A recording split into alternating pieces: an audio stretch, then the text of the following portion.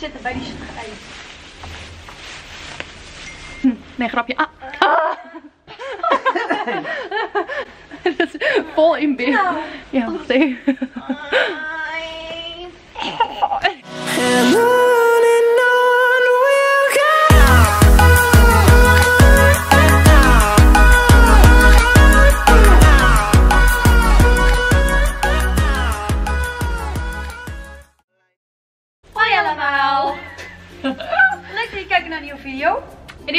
hebben een Q&A voor jullie, maar niet zomaar Q&A. Een Q&A met Mickey en Macho. Want er zijn heel veel vragen over Mickey en Macho, dus we dachten we doen een aparte Q&A over Mickey en Macho. Ja, hij eet op mijn schoen, kijk! Vier.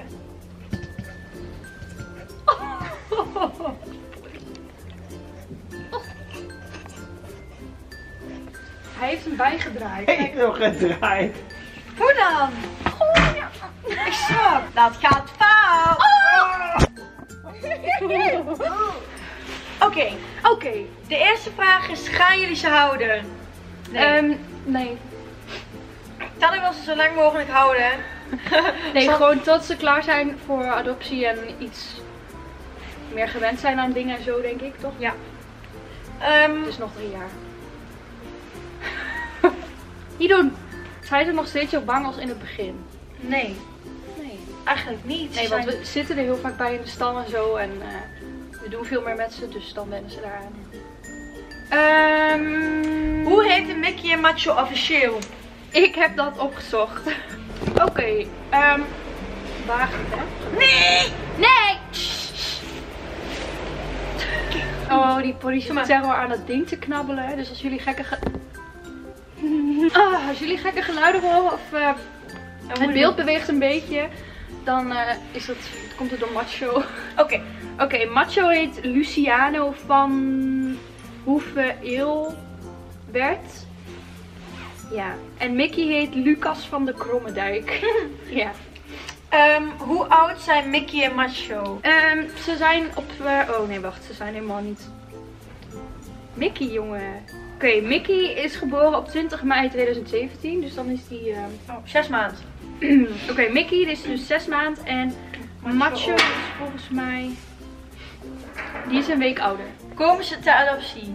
Ja, Ja. uiteindelijk wel. Alleen we weten nog niet wanneer, want we, we willen eh, ja, natuurlijk gewoon ja, ze een beetje op zien groeien en zo. En ze iets meer dingen aanleren en laten wennen. En dan uiteindelijk gaan ze samen weg. Hoe kwamen jullie aan de namen? Ja, ik heb mijn naam spontaan ja, bedacht. Ik zei, hé, hey, ik ga je vanaf nu Macho noemen. En ik moest iets lang over nadenken, maar alsnog is het geen heftige naam of zo. Dus ik vond het wel schattig. Gaan jullie ze scheren en zo ja, wanneer? Ehm er zitten we nog een beetje... Hij loopt gewoon tegen me aan ook. Daar zitten we nog een beetje over te twijfelen. Want... Jongen, wat is dit nou? Ehm, ja, we zitten nog een beetje te twijfelen of we ze gaan scheren. Want ze hebben een enorm vieze, dikke vacht. En ehm, als die nat is, droogt het ook niet zo snel op. Dus ik denk haast van wel. Maar, Maar dan alleen het buikje. En ja, gewoon op de plekken die heel snel zweten. Of, ja, want we hebben wel dekentjes voor ze. eh, volgens mij 300 grams. Maar ja, om ze daar nu mee op te zetten dan, omdat het straks nog veel kouder wordt. En mensen die zeggen vaak van, ja, waarom zou je veulentjes scheren? Want ze hoeven toch nog niks. Maar ehm, ze hebben gewoon echt last van hun vacht. En dat merken we ook, dus vandaar. We gaan echt niet zomaar een paard scheren omdat het mooi staat of zo. Nee. Wat wil je met hun gaan bereiken? Ze Ehm, klaarmaken voor ado- adoptie eigenlijk. Ja, en dat ze gewoon aan de hand lopen en zo kennen, een beetje dat soort dingetjes. En ja, worden ze ruinen? Ja, uiteindelijk wel. Nu Maar- zijn ze nog te jong. Ja, ze zijn nog te jong daarvoor. Zijn ze even oud? Nee, ze zijn dus eh, een weekje, Ja, een week verschil. week verschil. Ze zijn ook geen familie, helemaal niks eigenlijk. Weg. Ja, oké. Zijn ze al terug en helemaal beter? Eh, nou, Mickey, die is weer beter. En Macho, die had eigenlijk niks, toch? Nee. Maar, ehm eh, hoe heet het? Mickey die had een hele erge longontsteking. Eerst had hij begonnen met bronchitis, maar het werd een hele erge longontsteking. En dat is voor zo'n kleintje natuurlijk heel gevaarlijk. En hij kreeg ook hele zware antibiotica, medicatie. En dat mocht hij eigenlijk helemaal niet hebben, maar Hij was echt op het randje, anders was hij er niet meer. Ja. Zijn ze echt van jullie of van de opvang? ja, ze zijn wel van ons. Nog wel. En, Maar eigenlijk zijn alle paarden van de opvang officieel van jou en je vader. maar jij, dat is jouw pony dat. Maar dat is wel jouw pony, want jij hebt die uitgezocht. Ja, maar hij moet weer weg. Dus hij is voor nu denk ik mijn pony. Totdat hij eh, ter adoptie komt. En dan, Jij gaat... en dan blijven ze eigenlijk officieel altijd van ons. Alleen, ehm, ja, gaat gewoon naar een ander huisje. Onder adoptie. Willen jullie een video gaan maken als jullie ze gaan scheren? Als we dat gaan doen, dan eh, maken we natuurlijk een video daarvan. En eh, ja, we willen eigenlijk zoveel mogelijk vastleggen in het proces, zeg maar. Omdat we jullie er ook bij waren toen we ze op gingen halen. Dus dat is wel leuk. Dus als jullie nog ideeën hebben of zo, moet je even onder in de comments laten eh, weten. Wat je graag zou willen zien van Mickey en Macho. Want dan kunnen we daar een video over maken. Heeft Sanne Mickey zelf gekocht? Nou nee, het ging eigenlijk zo. Eh Carlijn's vader, we waren daar. En toen waar hadden we heel de markt al afgezocht naar hele zielige paardjes die iets mankeerden. Maar de meeste waren gewoon echt, vroegen ze nog super veel geld voor. Wij moeten natuurlijk alles zelf betalen, dus dat gaat gewoon niet. En ehm, ja, toen waren we een beetje aan het einde, dus alles was al een beetje weg. Maar toen dachten we, we kunnen niet met lege handen naar huis gaan. En toen ehm, zei ik vader, dus jullie mogen er allebei in uitzoeken. En we waren echt zo van... En toen eh, hebben we deze uitgezocht. Hoe lang hebben we ze al? Ik denk zou ik het opzoeken? twee maanden of zo al. Oké, we hebben ze vanaf 17 oktober. En het is vandaag November. 17 of 17 november. Een maand! Joh, vandaag hebben ze precies een maand. ik wist het helemaal niet. Oh. Lol. Oké, precies een maand dus. Hoeveel kosten ze? Dat weten we nog niet. Nee, dat ligt een beetje aan of ze, ja... Ja, ligt beetje. Ja, de kosten die wij hebben gemaakt gewoon moeten wel sowieso er terug Ja. worden gevraagd. Hebben ze een officieel paspoort? Ja, dat hebben we net ook ehm, ja, opgezocht. En ze hebben zelfs een stamboom, dus eh, Ja. alles is bekend van ze. Wat wil je doen met ze? ehm, training, zeg maar. Nou ja, we zijn gewoon heel erg bezig met de algemene dingetjes. Met een hoefje geven, borstelen en dingen laten zien die niet eng zijn. Wassen en zo. Ja, wassen. water. En vooral omdat we heel veel met ze rondlopen hier. Ehm, ja, Het is hier best wel druk. ja, en ja, op een pensionstal is gewoon enorm veel te zien. En van die kleintjes is het gewoon, ja, gewoon handig dat ze hier Ja. Wie zijn hun beste vriendjes, behalve elkaar? Ik denk Cosmo. Cosmo vond ze geweldig. Oh ja, ze gingen helemaal achter elkaar aanrennen. Ja.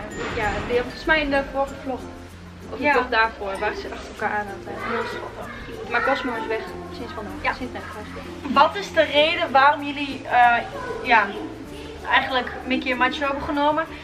Nou, we vonden ze heel schattig en ze zaten heel... Ja, Macho zat heel strak vast aan zo'n touwtje. En hij hing daar zo een beetje.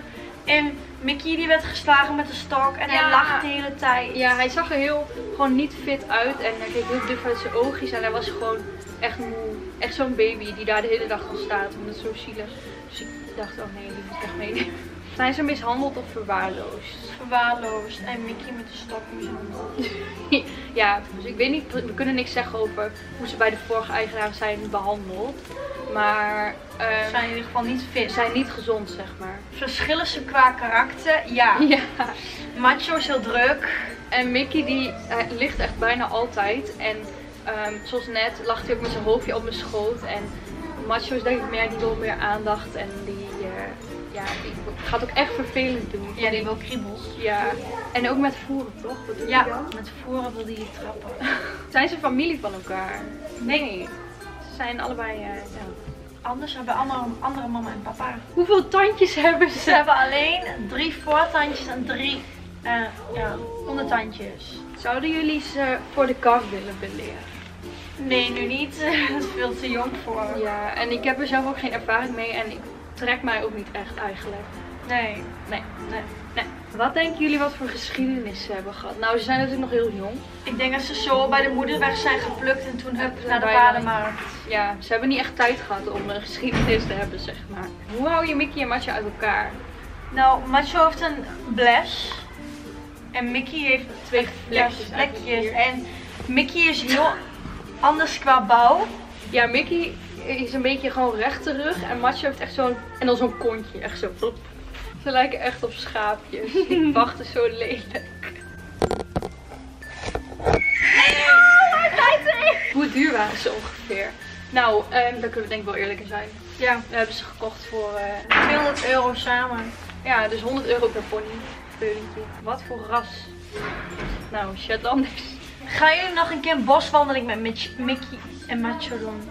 Ja, dat kunnen we wel doen. Ja. En dan kunnen we dat ook filmen voor jullie. Ja. Hoe verwachten jullie dat ze eruit zien als ze gegroeid zijn? Oh, ja, ik wil het echt weten. Veel met, ja, Veel met, eh, ehm, gewoon gewoon heel anders. Wat volwassener, lijkt me. Ja, want ze zien er nu gewoon echt lelijk uit, want ze zijn helemaal mis... Die verhoudingen kloppen gewoon nog niet. Wat hadden ze allemaal toen jullie ze kochten? Hele lange hoeven, luizen en ze zijn heel erg mager, want ze lijken heel dik, maar als je ze aan het kriebelen bent, voel je gewoon die botjes uitsteken. Dus eh, ze zijn wel heel mager. Hoe lang hebben ze in de kliniek gestaan? Twee weken. Wie houdt het meest van aandacht, Mickey of Macho? Ik denk dat ze allebei heel erg genieten van aandacht, maar Macho die vraagt er echt om. Ja, willen jullie een serie maken van Mickey, Mickey en Macho? Dat doen we eigenlijk Ja, al. dus dit eigenlijk al. Maar ja, daar heb ik inderdaad nog een vraag voor jullie. Als we toch een Q&A doen. Wat zouden jullie graag willen zien wat we met Mickey en Macho doen? Omdat we dan inderdaad een serie aan het maken zijn. En ehm, ja, wij eh, maken zoveel video's dat we het soms gewoon even niet meer weten. Dus wat lijkt jullie nou leuk om te zien van Mickey en Macho? Dan eh, ja, laat het even onder Ja. in de reacties weten en dan gaan we dat doen. Niet als het hele gekke dingen zijn, dan gaan we dat niet doen. Nee. In ieder geval heel bedankt voor het kijken. Vergeet niet te abonneren. Als je de vorige video's over Mickey en Macho wil zien, dan moet je eventjes onder in de beschrijving kijken. Heel erg bedankt voor het kijken en tot de volgende keer. Doei!